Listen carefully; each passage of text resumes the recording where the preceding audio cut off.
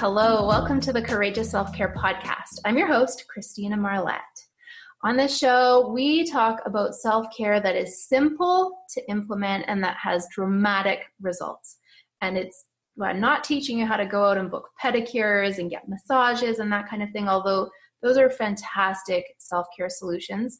And at the same time, they're kind of band aid fixes. So if you, those are your go to, or I like to say self care beyond bubble bath, chocolates, and wine, if those are your go to, they are band aid solutions, and there's so much more you can do with self care.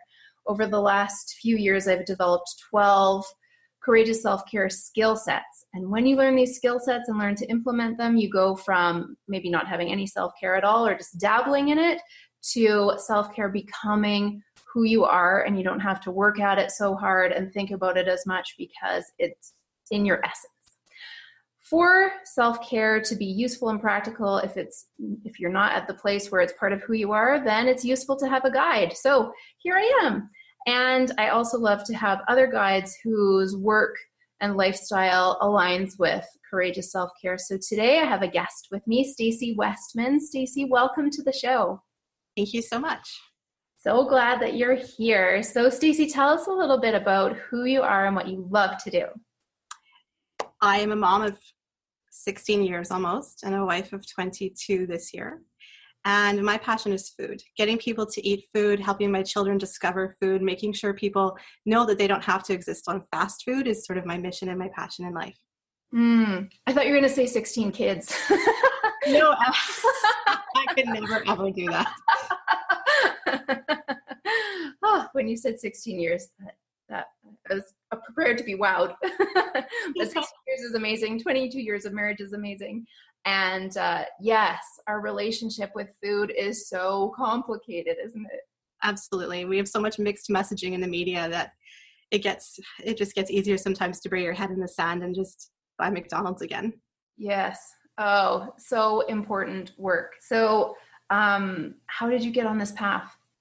my life as a meal planner started when I became a mom because before I became a mom, I lived in a hot little apartment on the top floor with no air conditioning. And it was so hot that taper candles would melt and run down along the table edge. Oh my gosh. so we basically lived in air conditioned places throughout the year. It didn't matter what season, it was just hot all the time.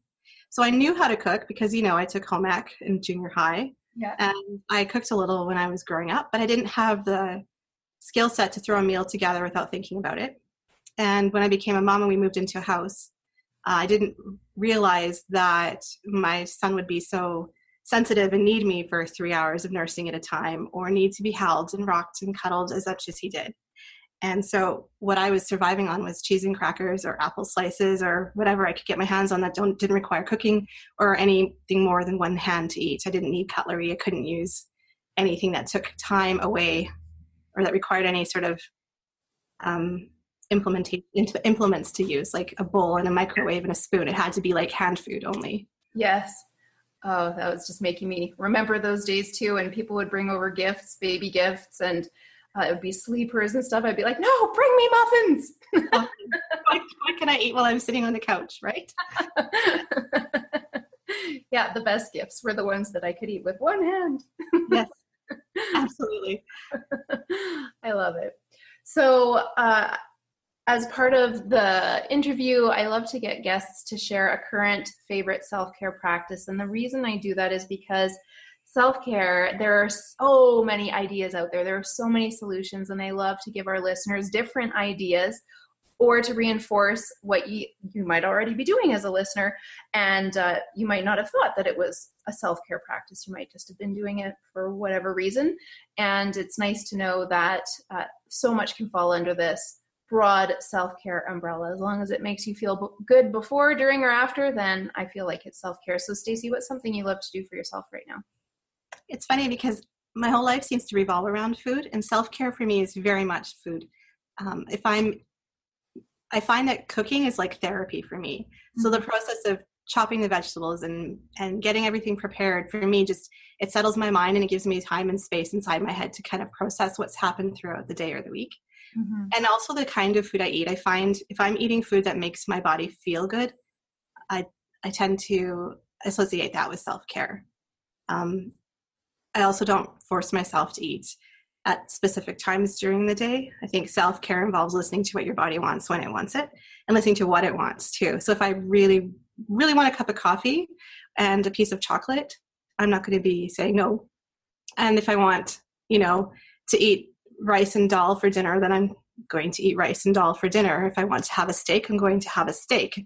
I think that allowing myself the freedom to enjoy and savor what I'm eating as I'm eating it is the form of self care. Absolutely. That brings up so many important points. Um, what do I want to touch on first? Yeah, like I said before, I think our relationship with food is so damaged.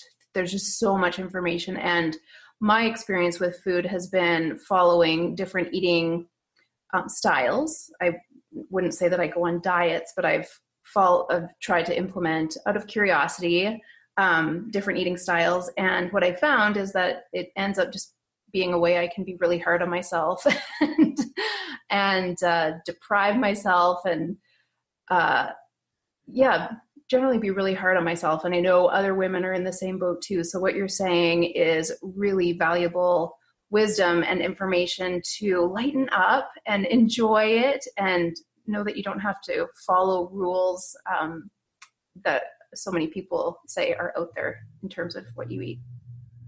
100%. I think that well food is is essential for life. We eat every day. We can't live without food. And forcing ourselves to attach like those rules to the to the food that we eat and fo- focusing on what we can't have or the shame when we inev- inevitably fall back into eating those foods we love that they say we can't have. We are so hard on ourselves like you said. There's a lot of shame and a lot of guilt associated with following those kinds of food rules. I um i kind of was borderline anorexic in high school and so i recognize for myself that once I started following programs that required me to count calories or measure amounts or um, deprive myself of certain food groups, that I would get obsessive about it, and it would it would be constantly in my head, and I would constantly um, beat myself up if I made a poor choice or be trying to focus on all the ways I screwed up instead of enjoying the fact that I'm alive and I get to eat every day. I mean, life is short and food can be such a pleasure. It's so such a gift to be able to eat and not just to eat because we have to but to eat and be able to enjoy it is such a gift to give to ourselves. Hmm yeah you you made me think of a time when i was um following some plan and we were traveling and so this plan was really not easy to do while traveling and we went to two different restaurants, sat down, I looked at the menu, cried, can't eat anything here. and, and so we'd get up, and then I would feel embarrassed that we were leaving a restaurant that had all sorts of choices, like all the abundance that's available, and I can't find anything. And we did it twice, and I was just emotionally exhausted and drained. So that plan didn't last for very long. It can't. It can't be maintained. No, it's damaging to ourselves. Absolutely. Not just physically when you count consider how many diets recommend or require you to give up entire food groups yes. but also mentally and emotionally it's so damaging. Yeah i i have come through that damage definitely. Another time i was eating a piece of chocolate cake because i had done a certain style of eating for the whole week and then there was one day where you could have what you wanted. Yeah and then um I was eating this cake and I noticed that all of my thoughts were around feeling guilty about having this cake. And I thought, this is ridiculous. This cake is so delicious. I'm at a health food store. It's relatively good chocolate cake. It's not from a, um, a fast food place or anything. And, uh, and yet I can't even enjoy it because I feel so guilty. This has to stop. This madness is insane. yeah.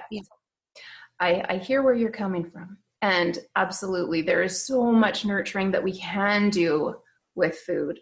So, um, this is not related to, I, I just have another question around it. So, for you, why do you think people go for fast food so often, and what do you help them move through so that they make healthier choices?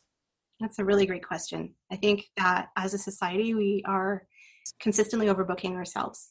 We're running from the office to extracurricular activities or sports uh, obligations. If we're if you're a parent, there's an awful lot of those, and we're trying to force ourselves to get up earlier to put more hours in the day to get everything that has to get done and then we stay up later than we should because there's too much to get done. And when you get to the end of the day you are exhausted. Your body's craving something right this second and you eat fast food because it's convenient it's available it satisfies your taste buds because it's so salty it's got so much fat and sugar your body is just lit up like a firework when you eat it and it's easy to become dependent on that quick fix i know when I'm really tired, I just want to eat something right now. You know, because your body's like, I'm tired, wake up, you've got too much to do, find something to eat. And if we're on the road, because so frequently we are, it's so easy to just pull in, grab something, drive away. And so, um, my purpose, my mission in life is to help people figure out what their triggers are that get them into that habit and how to move around those triggers. And I really believe no matter what you make at home, it could be anything from chocolate chip cookies to pizza or hamburgers. It's going to be better for you than what you buy. Hmm. Yeah, I was thinking about last night where I was at a track meet all day with my kids. It was hot. It was sunny. They worked hard. Well, my daughter worked hard. My son spectated. But even as a spectator, I felt like it was a lot of hard work.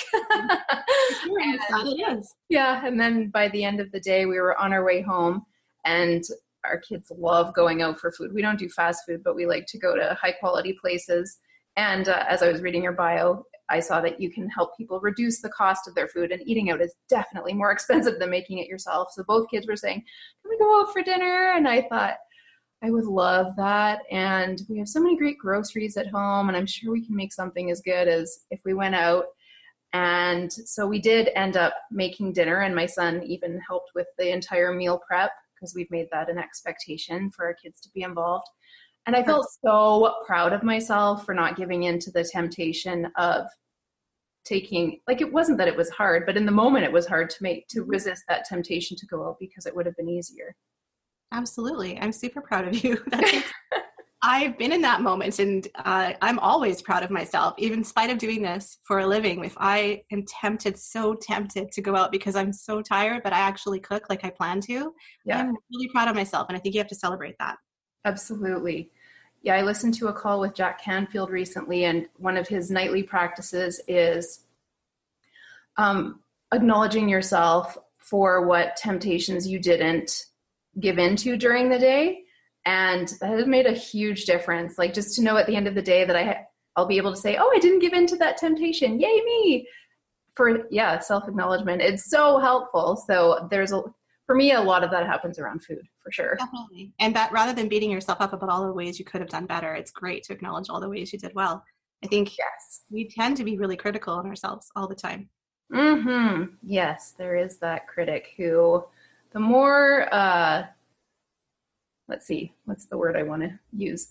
The more fodder you give for that critic, the more intense it can become. So yeah, there's a lot of courageous self care that's about shifting your mindset and being powerful in those moments when there is that temptation. Definitely. Well, this has been super interesting so far, Stacey. We're going to pause for a quick uh, commercial break, and when we come back, I'm going to ask Stacey to share a story of courage. So be sure to stick around. Welcome back. Thank you for being here this is a great part of the interview. I always love hearing people's stories of courage. And one of the reasons I love to incorporate that into the interview is because we are courageous in so many ways. And it's useful, as we were talking about before, to acknowledge that courage. And then also to hear other people's stories and give ourselves permission to say, wow, I did that too. I must be a courageous person, or to be in a similar situation and not have known what to do and then be able to say oh i i now i have a solution. I could try a version of what she did. So courage is contagious like brené brown says and i love to get that vibe out into the world by hearing and sharing stories of courage. So what have you got for us stacey? I don't know if it counts as courageous for a lot of people but uh, bear with me. It's it is of course it's related to food because that's all i think about. Gotta be honest um, back several years ago, eight years ago, I was in a really bad car accident And if my husband had put his foot on the gas pedal a fraction of a second harder, I would have been killed because instead of hitting the front corner panel of the passenger side of our car, it would have hit the door and it would have hit me. Wow. And we were so hard that we were spun around 180 degrees. So we were facing the opposite direction we were heading. And recovery from that was scary because I had a lot of pain. It didn't have physical, um, obvious signs of being in a lot of pain, but my I had a concussion that lasted close to six months, and I had so much soft tissue damage that little things like like walking to the mailbox was a, a huge effort. Mm. And I went to physio for a very long time. My physiotherapist told me I had to incorporate movement into my life. Um, and I was really scared to hurt myself again. Mm-hmm. She just said, find something that interests you and try it. I'm here. If you hurt yourself, I'll help you, you know, get better. But I ended up, this is not, this is a long lead in. I apologize. No, it's good. uh, I ended up taking up kickboxing and uh, I'd never done that, but it was really fun. Of course, I injured myself and threw out my hip uh, because I couldn't get one of the kicks. I still can't. It's really hard to learn something new like that. Mm-hmm.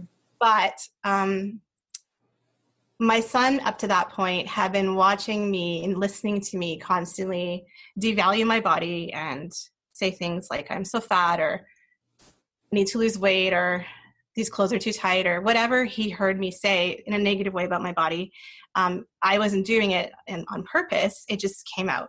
And he mm-hmm. happened to be within earshot. I probably wasn't telling him i was probably telling my husband or a girlfriend or someone on the phone and as i was doing these exercises he would sit in the living room and he'd watch me and one day he said as he's watching me try to do this kickboxing thing i don't think it's working mom you're not skinny yet you should join jenny craig And I realized in that second that I had to take a stand for what I really wanted. Did I want my kids to grow up with body image issues and to be constantly worrying about the food they were eating and counting calories and judging themselves and everyone around them and feeling shame?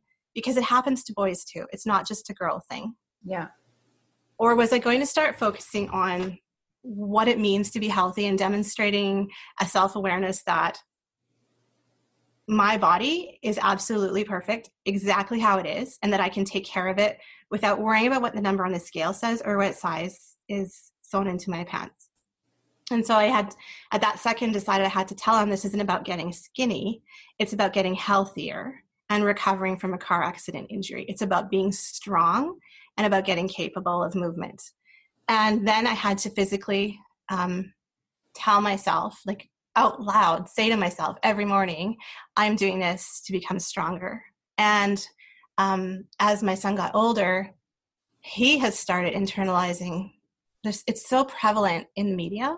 Mm-hmm. So I feel like I'm constantly fighting what's mainstream. So when he'll tell me, I'm really hungry, but I think I'm just going to have a glass of water instead. And I have to tell him, you're a teenager. You should eat something. You're probably growing. It, yeah. you know, he's so self aware um, he's not at all fat, but he's not terribly active either. Mm-hmm. And so I think he's got this idea in his head that he doesn't eat if he goes on a quote unquote diet, then he won't gain weight because he's not very active and he has no desire to be terribly active.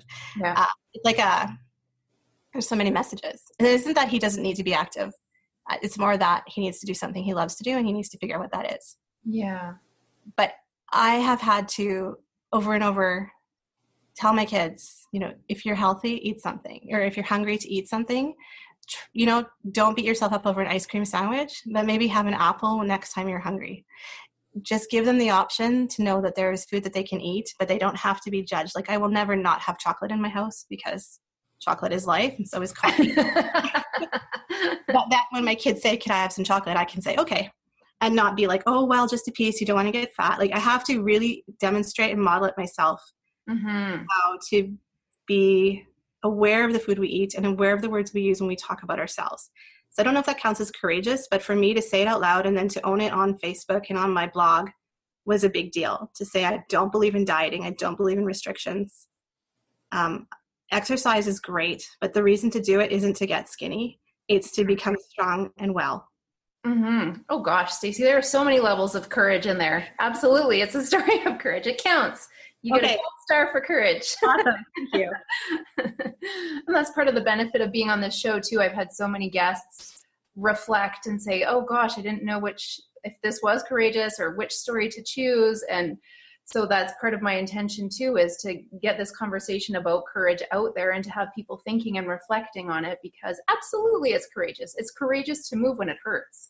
It's courageous to um, want to change your whole mindset so that your kids are um, receiving the messages you want them to receive. It's courageous to go against mainstream. Absolutely. I'm very familiar with that, especially in the parenting world. And it's courageous to express yourself, to disregard what other people think, and to say what's in your heart. So, all sorts of courage going on there. Fabulous. Thank you. You're welcome. so, um, you touched on how you help people make better choices, how to meal plan, how to make healthier um, choices at the grocery store. And I know that yours and my experience is not in a little microcosm. This is an epic thing that so many people could use help with. So, people are interested in learning more about your work and what you do, where can they connect with you? They can connect with me on my is on my um, website. It's www.themealsmaven.com. Or on Facebook, everywhere my handle is at the Meals Maven. That's my business handle. Awesome. And uh, you have a, a gift to offer? I do. I've got an ebook. It's a few recipes that take 15 to 20 minutes to prepare. And so it's sort of kind of thing that you can have on hand when you're you're running out the door and you just have a few minutes and not a lot of time or energy and most of the ingredients are in your pantry already so it'd be a good to look through it and kind of confirm you have what's in the book. And then when you need to pull something quick out of your freezer or pantry, you know you've got the ingredients to go with it. Ooh, that sounds awesome. So the link for that uh, gift is in the description for this podcast. I encourage you to access it because really you're going to, if you're in a restaurant, you're going to take at least 15 minutes to get there and figure out where you're going to eat and wait for it. So by that time, you could already be eating at home, right? That's right. Yeah, and especially when you go a lot of places, if you don't check your bag, you find out when you get home you got the wrong order. oh yeah, right. that happens a lot when we used to eat out a lot more, and then the kids would freak out, and your husband would grumble, and you'd be disappointed, and you're all still really hungry. oh yeah. Just eliminate that situation. One hundred percent. Just yeah. go. well, Stacey, thank you so much for taking the time to educate us and to talk about something that I feel like has been buried for a really long time and courageous conversations like this are bringing it out into the open. Uh, I really appreciate the work that you're doing. It's so valuable, and thank you for taking the time to share it with us. My pleasure. Thanks so much for having me. Oh, my pleasure too. That was super fun. And listeners, thank you so much for tuning in. It is definitely a form of courageous self care to educate yourself, to expand your perception of what self care is and to hear about other people's experience. So, thank you for listening. I encourage you to come back. The podcast airs usually twice a week one teaching episode from me specifically about courageous self care, and then a guest interview. So, do come back and give yourself a big pat on the back. And you get a gold star too for practicing courageous self care today, a big virtual gold star. So, yay for you. Thank you so much for listening. I look forward to connecting with you again next time. Bye bye for now.